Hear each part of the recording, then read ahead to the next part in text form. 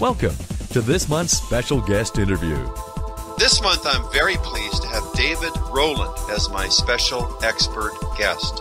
Dr. David Rowland, Professor Emeritus, is an expert in complementary medicine. He received his Bachelor of Commerce degree and MBA education from the University of Toronto and earned a PhD degree in holistic nutrition from an alternative university in the United States.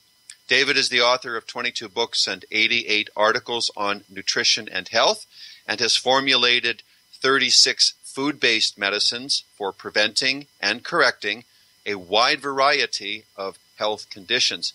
How would you compare the quality standards here in Canada to America? The quality standards are higher because natural health products are regulated as if they're drugs. They're subject to the same good manufacturing practices and so on as pharmaceuticals, which is actually quite onerous because in my case, if I was producing a bottle of multivitamin has like 30 ingredients, it cost me like $2,600 to do a test to prove that it has exact quantities in there. And then you have to repeat the test at the end of the year and so on and so on. After two years, even though there's no products left on the shelf, you still have to prove there still has the quantity put in it. So it's a rather onerous thing that's not required, but it does make it more lot tighter than the American regulations. There's nothing wrong with the American regulations, however, because before a product can be sold, the manufacturer has to have it tested to make sure there's no pathogens in it, no molds, yeast, and, and so on and so on. The difference is that the FDA doesn't enforce the way that Health Canada does. So there might be some things that slip through. However, the safety record of both industries in Canada is immaculate. Nobody's ever died from taking vitamins or dietary supplements.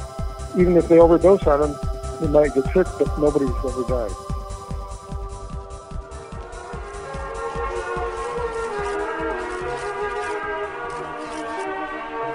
representing lifestyle. New way of life.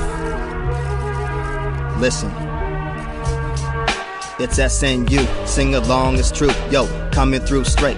Malik with sports nutrition update. Prolong your life, live long, stay strong, for it won't be long till your time is gone. So I sing this song to pass on wisdom. Hit us up at CoryHolly.com. Love your life, live right, things will be alright. Knowledge is key, just follow our lead, you'll see ya changing heart and health, which leads to wealth and higher self esteem. Follow your dreams and see. Follow your dreams and see.